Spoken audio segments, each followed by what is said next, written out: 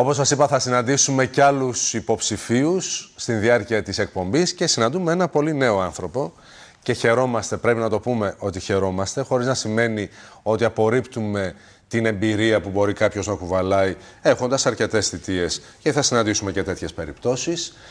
Καλωσορίζουμε λοιπόν τον κύριο Μίλτο Χαραλάμπους. Καλησπέρα κύριε Πολύζο. Που τρόμαξε όταν είδα την ηλικία του, ότι γεννήθηκε το 83 δηλαδή. Και όμως γεννιόντουσαν και τότε ναι. παιδιά και νομίζω ότι τότε γεννιόντουσαν και ελπίδες για τον τόπο. Είναι πολύ ωραία να έχουμε και το επαναλαμβάνω νέους ανθρώπους. Είστε μόλις 27, έχετε εισαχθεί πρώτος στο Τμήμα Οικονομικών Επιστημών του Πανεπιστημίου Θεσσαλίας, ε, αποφυτίσατε με 9,81. Παραλίγο 10. Πήρατε υποτροφία για το Πανεπιστήμιο Kingston του Λονδίνου. Δύο μεταπτυχιακούς τίτλους εκπονήσατε σχετικά με την χρηματοοικονομική λογιστική αλλά και την στρατηγική ανάπτυξη. Είναι φαίνεται η μέρα που συναντούμε τους τεχνοκράτες. Ε, δεν είναι τυχαίο. Των ναι. ψηφοδελτίων. Και αποφασίσατε να κατεβείτε στις εκλογές με τον κύριο Πάνο Σκοτεινιώτη για τον Δήμο του Βόλου. Καταρχήν, να σας ε, ότι έχω ξανακατέβει στις εκλογές, στα 23 μου. Ήταν μεγάλο το τόλμημα τότε. Ναι. Πήγαμε αρκετά καλά. Ήσασταν στη Νέα Ιωνία με τον. Ναι, ναι, με τον κύριο Μαβίδη. Παύλο τον Μαβίδη. Ναι. Τώρα όμως ε, έχουν αλλάξει πολύ τα πράγματα. Ε, βέβαια. Και ένας ε, βασικός λόγος που αποφάσισα να ξανακατέβω στις εκλογές είναι ότι έχω αγανακτήσει. Και όταν σας λέω ότι έχω αγανακτήσει, έχω αγανακτήσει ως νέος. Διότι ο κόσμος έχει γυρίσει την πλάτη στους νέους. Και οι νέοι έχουν πάρα πολύ μεγάλες δυνατότητες. Δεν είναι ούτε παρετημένοι ούτε ητοπαθείς. Είναι ενοχλημένοι, είναι δραστηροί, είναι ενεργοί. Αυτό λοιπόν είναι ο πρωταρχικός μου στόχος, είναι αυτός. Να ξαναφέρω τους νέους κοντά για να πετύχουμε. Και νομίζω ότι θα πετύχουμε. Ε, να πω ότι ήσασταν από τους πρώτους επιλαχόντες έτσι, στις εκλογές ε, του 6 με τον Παύλο τον ε, Μαβίδη, δηλαδή ήταν 20 στο σύνολο των 40 υποψηφίων. Ε, έχετε αγανακτήσει ως νέος άνθρωπος με αυτό που συμβαίνει στην πολιτική; Και λέτε θα το αλλάξω από μέσα εγώ; Φυσικά και έχω αγανακτήσει και δεν μπορώ με τίποτα να δεχτώ σαν νέος και σαν άνθρωπος φυσικά το πολιτικό σύστημα όπως έχει. Μπορούμε εμείς οι νέοι να συμβιβαστούμε με αυτή τη μίζερη θεσμική και διοικητική και γεροντική αντίληψη του πολιτικού συστήματος και ειδικότερα της τοπικής αυτοδιοίκησης. Σε καμία περίπτωση δεν μπορούμε να το δεχτούμε αυτό το πράγμα. Νομίζω ότι οι νέοι έχουν ξεκάθαρη λύση, έχουν ξεκάθαρη πρόταση. Γι' αυτό και είναι εδώ. Και άκουσα προηγουμένως που αναφέρατε ότι θα υπάρξει ανανέωση. Όπως... Αυτή είναι η εκτίμησή μου πάντως. Ναι, βεβαίως θα υπάρξει ανανέωση. Η ανανέωση είναι εδώ, είναι παρούσα.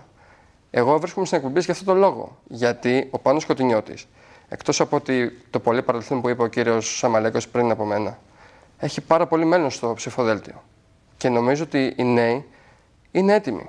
Είναι για πρώτη φορά έτοιμοι και ο κόσμος πρέπει να τους πιστέψει. Τι νομίζετε ότι λείπει από τον κόσμο; Από τον κόσμο, ε, είμαι σίγουρος ότι δεν λείπουν τα μεγάλα έργα. Και να σας πω γιατί δεν λείπουν τα μεγάλα έργα. Δεν λείπουν τα μεγάλα έργα γιατί λείπει η καθημερινότητα. Είναι η καθημερινότητα που χάσαμε. Είναι ότι αποξενωθήκαμε, είναι ότι κλειστήκαμε στο εγώ, ξεχάσαμε το εμείς, γυρίζουμε την πλάτη ένας στον άλλον, δεν λέμε ούτε καλημέρα, δεν χαμογελάμε μεταξύ μας. Αυτό νομίζω ότι λείπει, η καθημερινότητα. Mm Ωραία. Ας ε, πούμε λοιπόν, να κάνουμε μια προβολή στο κοντινό μέλλον και να πούμε ότι μετά τις εκλογές θα είστε Δημοτικός Σύμβουλος. Θέλω να μου πείτε ποιο είναι το όραμά σας. Και το λέω το όραμα μέσα από την ενασχόληση με την πολιτική. Ε, είστε δεν είστε σε θέση ευθύνης. Ακριβώς. Το όραμά μου είναι ξεκάθαρο κύριε Πολύζο. Εγώ θέλω και οραματίζομαι μια κοινωνία πραγματικά με στόχους και προοπτική. Όπως σας προανέφερα, έχουμε αποξενωθεί. Άρα λοιπόν θέλω να ξαναρθούμε όλοι κοντά και να δουλέψουμε όλοι μαζί. Και κυρίως θέλω να υπάρχουν ίσες ευκαιρίες, ίσα δικαιώματα. Ήσε ευκαιρίες και στον πολιτισμό και στην παιδεία και στον αθλητισμό. Θέλω να υπάρχει ίση εργασιακή μεταχείριση για όλους. Αυτά είναι πολύ απλά πράγματα. Πρέπει να σκύψουμε πάνω από τον συνάνθρωπο, τον ηλικιωμένο, τον συνταξιούχο, τον άνεργο, τον εργαζόμενο, σε όλους αυτούς. Κύριε Χαραλάμπους, τι άποψη έχετε για το μνημόνιο, μια και αναφέρατε όλες αυτές τις ομάδες του πληθυσμού που έχουν με τον ένα ή τον άλλο τρόπο πληρώσει για το μνημόνιο; Ω άνθρωπος είμαι πάρα πολύ θυμωμένος. Και όταν σας λέω ότι είμαι θυμωμένος, είμαι πάρα πολύ θυμωμένος. Ω οικονομολόγος όμως, ξέρω πάρα πολύ καλά ότι μπορεί να λυθεί το θέμα του μνημονίου. Φυσικά, κανένας δήμαρχος δεν μπορεί ούτε να αλλάξει το μνημόνιο, αλλά ούτε και να το καταργήσει. Αυτό δεν γίνεται.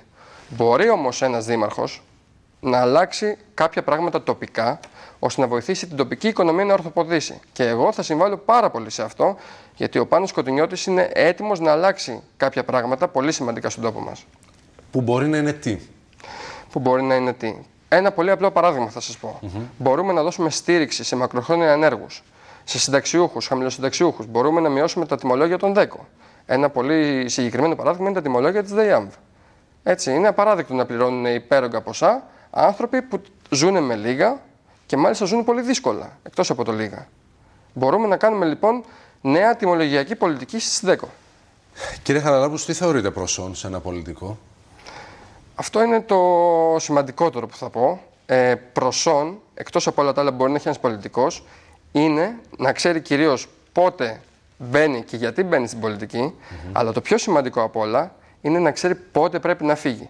Και όταν λέμε να φύγει, να φύγει αξιοπρεπώς. Γιατί καμιά φορά δεν συμβαίνει αυτό. Εγώ προσωπικά δεν σκοπεύω να κάνω καριέρα στην πολιτική. Έτσι. Είμαι αρκετά νέος, θα μείνω όσο έχω να προσφέρω θετικά πράγματα, αλλά όταν δω ότι δεν έχω τίποτα να, προσφέρω, θα φύγω αξιοπρεπώς. Και νομίζω ότι αυτή είναι και η ουσία, έτσι. Τι μήνυμα θέλετε να στείλετε στους ανθρώπους ε, της Νέας Ιωνίας, του Δήμου Βόλου, γιατί θέλω να ξεκαθαρίσουμε και τι συμβαίνει. Βλέπω, ας πούμε, γράφουμε, Μιλτιάδης Χαραλάμπους, για δείξτε μου λίγο, τι γράφουμε στο Σούπερ, υποψήφιος Δημοτικός Συμβούλιο στη Νέα Ιωνία με τον Πάνο Σκοτεινιώτη. Εγώ ψηφίζω στον Δήμο Βόλου και επιλέξω να ψηφίσω το συνδυασμό σας. Μπορώ να σας ψηφίσω που είστε στη Νέα Ιωνία; Δυστυχώς, εμένα κύριε Πολίζο δεν θα μπορείτε να με ψηφίσετε. Μάλιστα. Και ο λόγος είναι ότι βρίσκομαι στο τοπικό ψηφοδέλτιο της Νέας Ιωνίας. Το οποίο δεν υστερεί σε τίποτα από το κεντρικό. Απλά υποκαθιστά το σημερινό Δημοτικό Συμβούλιο. Mm -hmm. Ωραία, θα τα δούμε και αυτά. Την άλλη μήνυμα... εβδομάδα θα σας ενημερώσουμε πάρα πολύ αναλυτικά γιατί είναι λίγο περίεργος ο Καλλικράτης. Ένα μήνυμα ήθελα με το πώς πάνε. Θέλω να μου πείτε λοιπόν τι μήνυμα στέλνετε στους πολίτες. Θέλω να στείλω ένα σημαντικό. Και στους νέους, αλλά και σε όλων των ηλικιών. Θέλω να στείλω ένα πολύ σημαντικό μήνυμα σε όλους τους πολίτες της Ελλάδας, όχι μόνο τοπικά. Στις 7 του μηνός, στις 7 Νοεμβρίου εννοώ, η εκλογή για τον πολίτη γίνεται επιλογή. Και γίνεται επιλογή κυρίως γιατί είναι η μοναδική του ευκαιρία να επιλέξει ανάμεσα σε αυτά που τον πληγώνουν και στους νέους. Τους νέους που φέρνουν το όραμα, τους νέους που φέρνουν μια νέα ελπίδα για τον τόπο. Και νομίζω ότι αυτή τη φορά έχουμε την ευκαιρία να αλλάξουμε. Μπορούμε να αλλάξουμε. Ο κόσμος πρέπει να το σκεφτεί γιατί είναι κυριολεκτικά στο χέρι του. Τώρα, διαβάζω και πάλι από το βιογραφικό σας, έτσι, γιατί ζήτησα να μου φέρετε ένα βιογραφικό να σας γνωρίσουμε καλά. Βρίσκεται χρόνο και να αθληθείτε. Βεβαίως.